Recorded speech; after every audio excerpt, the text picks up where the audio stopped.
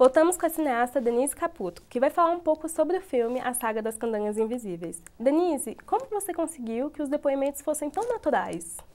Pois é, como a gente, a equipe foi uma vez para se conhecer, foram várias visitas, né? Então acho que ao longo, ao longo das conversas a gente conseguiu uma certa intimidade, a gente construiu uma certa intimidade, uma certa naturalidade.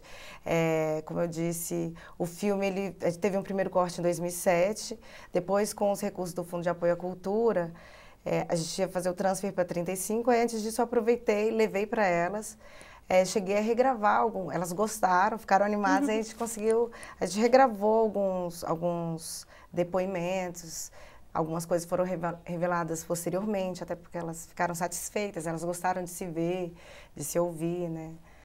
Eu queria saber como que você chegou a esses personagens, como você descobriu eles? Ah, foi uma longa pesquisa, foi mais ou menos um ano de pesquisa. A gente começou, comecei fazendo uma pesquisa bibliográfica olhando teses, dissertações, o que já tinha sido estudado sobre, sobre essas mulheres, né, sobre as prostitutas na época da construção. E até procurei um pouco assim anteriormente, né, aqui na região do, do DF, né, antes da instalação, construção de Brasília. Aí, a partir disso, eu comecei também a pesquisar em material de acervo, né, de, de arquivo, é, desde jornais, recortes da época e reportagens qualquer reportagem que já tivesse sido feita sobre o tema. E depois a gente começou, aí foi que a gente iniciou o trabalho de, de pesquisa em loco mesmo. Aí, partindo de alguns lugares que a gente já tinha levantado, que tinham sido, é, é, é, tinham tido zonas nesses lugares, a gente começou a visitar e procurar algumas pessoas um dos primeiros lugares foi o próprio Núcleo Bandeirante, que era a antiga Cidade Livre. Aí a gente começou a pegar uns pontos, desde assim, a saída da... depois da missa de domingo, naquela igrejinha principal, e conversar, ver como que era na época da construção, o que, que tinha de diversão, o que, que eles faziam no tempo livre. E aí esses senhores e senhoras, alguns mencionavam a, a zona, que eles chamam a zona de baixo meretrício, que era que ficava depois do trilho de trem, né? Que separava, digamos, a cidade da zona, né? Separava o acampamento do, do, do dos trabalhadores mais formais e, e o trilho do trem separava a, a zona, né? E aí eu comecei a pegar esses relatos, eles contaram algumas histórias. Foi bem difícil porque a maioria não, não queria falar ou queria contar outras histórias, né? Tem muita, muita coisa para ser ainda falada, né? E registrada sobre Brasília. Muitos sugeriam, ah, por que você não fala do, do papel social, da importância do Padre Bosco? E sugeriam outros temas. Aí eu falava, não, estou interessado mais em abordar a questão das mulheres, as mulheres que vieram para cá, que tipo de papéis elas desempenhavam, em que tipo de ocupações.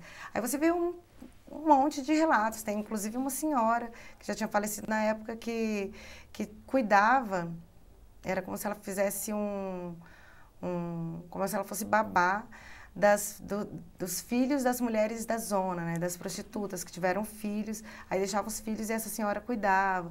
Aí comecei a ouvir várias histórias, era um, por ser um tema é, é, meio delicado, né, as pessoas não, às vezes não é o que as, do que as pessoas uhum. querem falar a respeito, é, foi, foi difícil. Aí eles a, começaram os próprios, as próprias pessoas com quem a gente estava conversando começaram a indicar outros lugares, indicaram inclusive alguns nomes, deram alguns nomes de algumas pessoas. Aí a gente foi atrás, foi para Planaltina. Em Planaltina conversei com algumas. A maioria das que das, das mulheres com quem eu conversei, elas não quiseram gravar. É, foi um trabalho lento, porque você tem que, que que criar uma certa, você tem que criar uma relação com a outra pessoa que está dando muito para você. Eu achei engraçado uma parte, porque elas se identificam com mulheres muito arrumadas, com um certo glamour, só que a realidade delas era muito difícil. Você acha que existe uma contradição? Essa coisa mesmo delas se arrumarem muito, de procurarem estar bem vestidas, era uma cobrança. Elas mostram que era um negócio, na verdade, que, que elas eram obrigadas a elas eram obrigadas a estar bem vestidas, perfumadas, maquiadas. Eu acho que e também eu noto que tem alguns foram tipos diferentes de prostituição. Eu acho. Tinha umas ah, o trabalho, né, lá que se fica são 80 pessoas, que a mulher ficava e atendia 80, 60 pessoas num dia, e outras prostitutas que que recebiam mais, estavam já em, atendendo os engenheiros, né, os que aí eram mais mais arrumadas, mas eu acredito que isso isso, claro, a memória também, ela dá uma pode dar uma glamorizada mais, mas eu acredito que elas tinham essa preocupação em estar sempre bem vestidas, até porque isso é uma pressão muito grande sempre. É assim, infelizmente, né, sobre as mulheres de terem que estar bem e bonitas e se arrumando e, ma e maquiadas.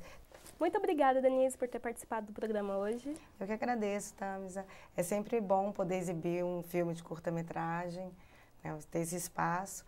Este foi mais um Lanterninha. Para nos acompanhar, veja o canal 15 da NET ou nosso canal no YouTube. Continue ligado na nossa programação.